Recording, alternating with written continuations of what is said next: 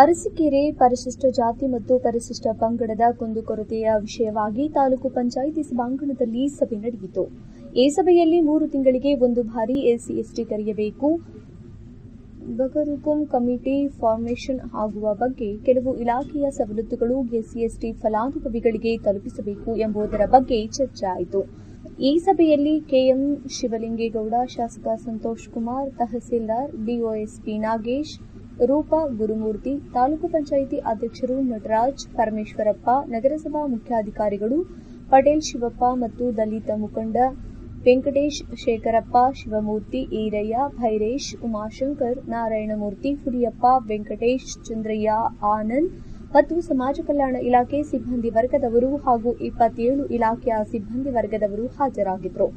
ಸಮಾಜ ಕಲ್ಯಾಣ ಇಲಾಖೆ ಅಧಿಕಾರಿಗಳು ಪರಶಿವಮೂರ್ತಿ ಮತ್ತು ಸಿಬ್ಬಂದಿ ವರ್ಗದವರು ಹೆಚ್ಚಿನ ಆಸಕ್ತಿ ನೀಡಿದರು. ಹಾಗಾಗಿ ಹಿಂದಿನ ಒಂದು ಸಭೆ ಐದು ಒಂದು ಎರಡ್ ಸಾವಿರದ ಹತ್ತೊಂಬತ್ತು ಶನಿವಾರ ಬೆಳಗ್ಗೆ ಹತ್ತೊಂಬತ್ತಕ್ಕೆ ಮೂವತ್ತಕ್ಕೆ ಸಭೆಯಲ್ಲಿ ಏನು ಇದು ಪ್ರಶ್ನೆಗಳಿತ್ತು ಅದಕ್ಕೆ ಏನು ಅನುಪಾಲನ ವರದಿಗಳಿತ್ತು. ಸೊ ಅದನ್ನ ಫಾಲೋ ಅಪ್ ರಿಪೋರ್ಟ್ ಓದೋದ್ರ ಮುಖಾಂತರವಾಗಿ ಸಭೆಯನ್ನು ಆರಂಭ ಮಾಡೋಣ. ಗೊತ್ತಿಲ್ಲ? ನೀವು ದರ್ಶನ ನಮ್ಮ ಕೈಗೊಳ್ಳುವುದನ್ನು ಕೊಡಿ. ನಾನು ನನ್ನ ಕಡೆಯಿಂದ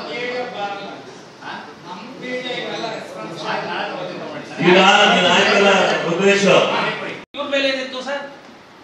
ಆಮೇಲೆ ನೆಕ್ಸ್ಟ್ ಆಯ್ತು ಆಯ್ತು ತಡಿ. ಈಗ ಬರ್ತಕ್ಕೆ ಮುಂದ್ಬೋದು ಇದ್ರೆ ಚರ್ಚೆ ಮಾಡ್ತೀವಿ. ಮತ್ತೆ ಪುನರ್ ಪರಿಶೀಲನೆ ಮಾಡ್ತೀವಿ. ನನ್ನ ಅಧ್ಯಕ್ಷರೇ ಏನು ಪರಿಶಿಷ್ಟ ಜಾತಿ ಪರಿಷ್ಠ ಸ್ಪರ್ಧೆಗಳನ್ನ ಪ್ರತಿ ಮೂರು ತಿಂಗಳೊಂದ್ಸರಿ ಕರಿಬೇಕು ಅಂತ ಇದೆ. ಆದರೆ ಈ ಸರಿ ಆರು ತಿಂಗಳು ಕರೆದಿರ ಇದು ಪುನರಾವರ್ತನೆ ಆಗ್ಬಾರ್ದು ಅಂತ ನಾನು ಮನವಿ ಮಾಡ್ತಾ ಇದ್ದೀನಿ ಪ್ರತಿ ಮೂರು ತಿಂಗಳು ವರ್ಷದಲ್ಲಿ ಮೂರು ಮೂರು ತಿಂಗಳಿಗೆ ಆರು ಸರಿ ನಾಲ್ಕು ಸಭೆ ಆಗಬೇಕು ಒಂದು ವರ್ಷಕ್ಕೆ. ಇದು ಮಾಡೋದು ಕಡ್ಡಾಯ ಆಗಬೇಕು. ಯಾಕಂದ್ರೆ ಈ ಸಮಸ್ಯೆಗಳು ಚರ್ಚೆ ಮಾಡೋದು ಸಮಯ